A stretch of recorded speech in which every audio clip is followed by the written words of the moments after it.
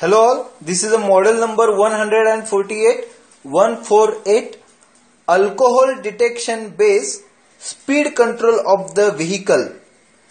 The use of the project is detection the alcohol level of the alcoholic person and set the maximum limit of the speed.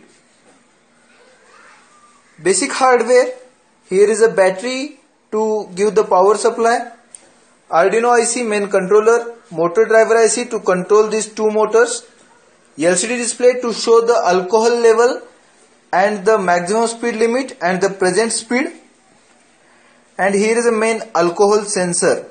For demo purpose we are putting some alcohol here.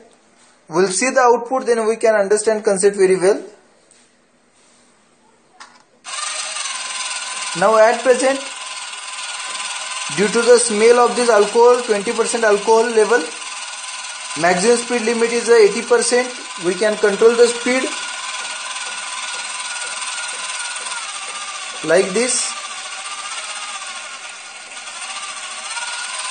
And whenever alcohol is sensed, then maximum speed limit is automatically decreases.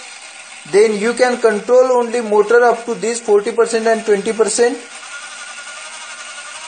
means whenever alcohol is detection the maximum speed limit is decided by the project and user can control the speed between the 0 to maximum speed decided by the project.